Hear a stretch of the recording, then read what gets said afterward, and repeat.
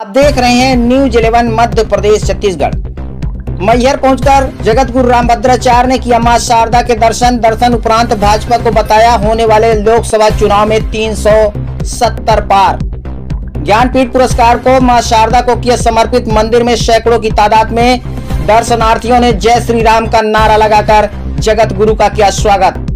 बताते चले कि ज्ञानपीठ पुरस्कार मिलने के बाद आज जगत गुरु रामभद्राचार्य जी महाराज मैहर पहुँचे। त्रिकुट पर्वत पर विराजमान माँ शारदा का दर्शन कर आशीर्वाद लिया। इस दौरान मंदिर पर मौजूद सैकड़ों की संख्या में भक्तगणों ने जयकारा लगाकर स्वागत किया।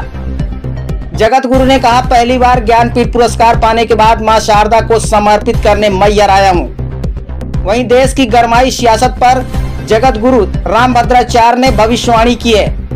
अब की बार भाजपा 370 पार करेगी। राहुल की न्याय यात्रा का भाजपा पर कोई फ़र्क नहीं पड़ेगा।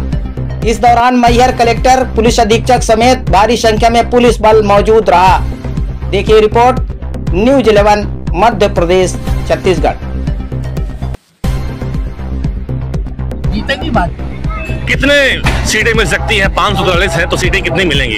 क्या लगता है आपको? तीन सौ सत्तर से पार जाएगी। राहुल गांधी न्याय यात्रा कर रहे हैं उस पर बीजेपी को लेकर क्या प्रभाव पड़ेगा?